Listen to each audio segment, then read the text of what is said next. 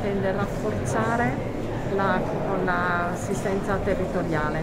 Eh, la Regione Lombardia ha una uh, sanità d'eccellenza negli ospedali, eh, testimoniata da uh, ricerche e uh, riviste internazionali di grande prestigio. ha la necessità di rafforzare la sanità territoriale eh, come attraverso strutture dedicate.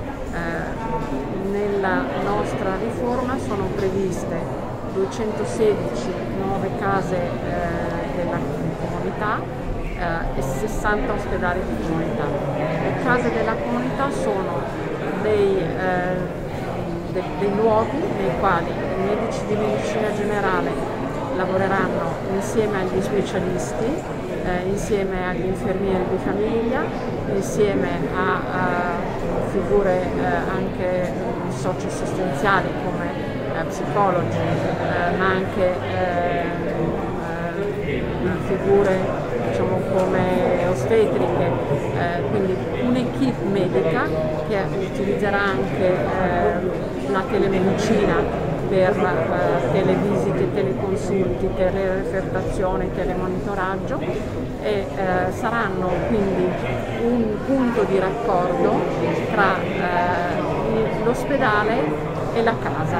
L'idea quindi è proprio che eh, ci sia una presa in carico della persona, eh, che eh, ci sia una continuità assistenziale, quindi quando una persona viene dimessa dall'ospedale attraverso anche queste case della comunità avrà la possibilità di, essere, eh, di continuare a essere seguita e quando una persona fragile è a casa e ha bisogno di un'assistenza un pochino più eh, diciamo, eh, forte, eh, prima dell'ospedale ci saranno queste case della comunità.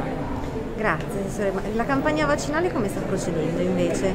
La Regione Lombardia questa settimana raggiungerà 15 milioni di somministrazioni eh, siamo in, eh, come territori, ci paragoniamo, siamo secondi solo a Israele, Spagna, Portogallo e Danimarca. Eh, abbiamo un'adesione alla campagna vaccinale del 89%, quindi sicuramente una campagna vaccinale che sta proseguendo eh, in maniera eh, molto positiva. Abbiamo un'ottima risposta dei giovani, i ventenni hanno dato uno, una risposta eh, straordinaria.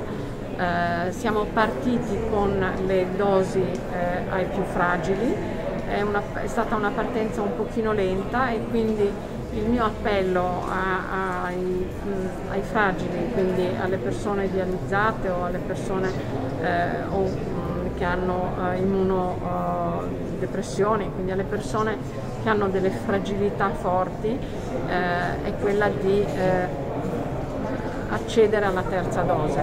Eh, mi auguro e spero eh, anche che i medici di famiglia, i medici di medicina generale chiamino i loro assistiti per uh, questa terza dose che è sicuramente importante per prevenire eh, in persone che hanno queste fragilità uh, uh, rischi di ospedalizzazione che possono per loro essere pericolosi.